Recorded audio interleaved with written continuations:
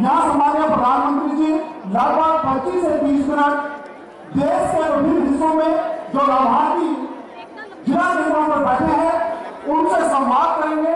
मेरा सभी सभी नंबर आठ रहेगा जब सम्मान्य प्रधानमंत्री जी संवाद कर रहे होंगे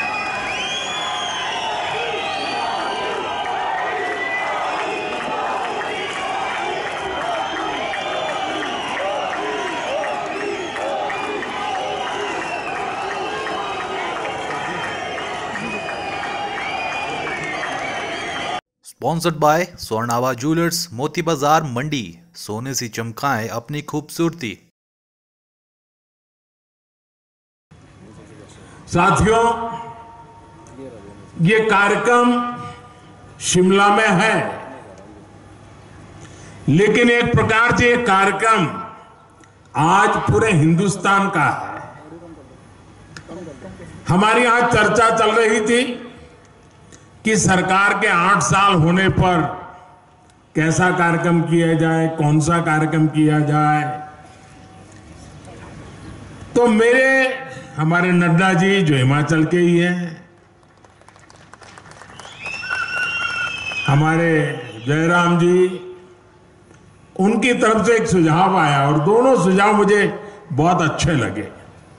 ये आठ वर्ष के निमित्त कल मुझे कोरोना काल में जिन बच्चों ने अपने माता और पिता दोनों खो दिए, ऐसे बच्चों का जिम्मा संभालने का अवसर कल मुझे मिला।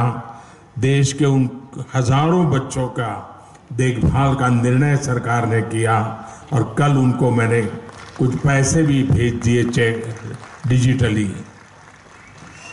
आठ साल की पूर्ति में ऐसा कार्यक्रम होना मन को बहुत सुकून देता है, आनंद देता है।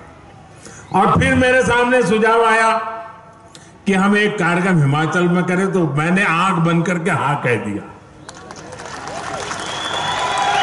क्योंकि मेरे जीवन में हिमाचल का स्थान इतना बड़ा है, इतना बड़ा है, और खुशी के पल अगर हिमाचल में आकर के बिताने का मौका मिले तो फिर तो बात ही क्या बनती है जी?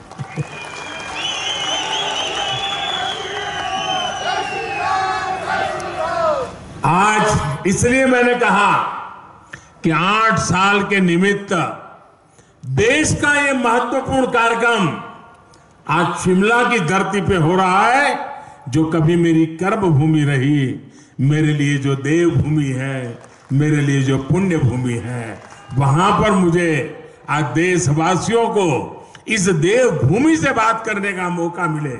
ये अपने आप में मेरे लिए खुशी, अनेक गुना बढ़ा देने वाला काम है। साथियों 130 करोड़ भारतीयों के सेवक के तौर पर काम करने का मुझे आप सबने जो अवसर दिया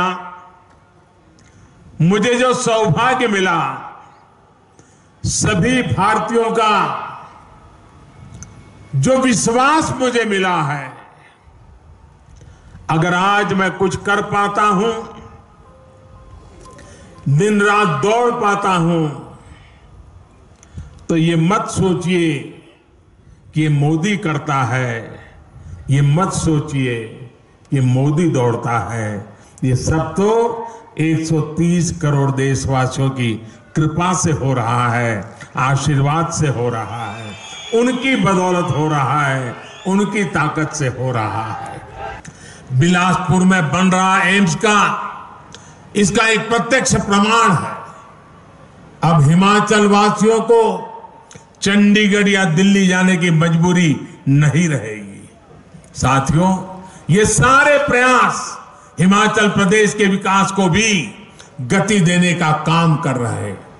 जब अर्थव्यवस्था मज़बूत होती है, रोड कनेक्टिविटी इंटरनेट कनेक्टिविटी बढ़ती है, स्वास्थ्य सेवाएँ सुधरती हैं तो ये टूरिज़्म को भी बढ़ाता है।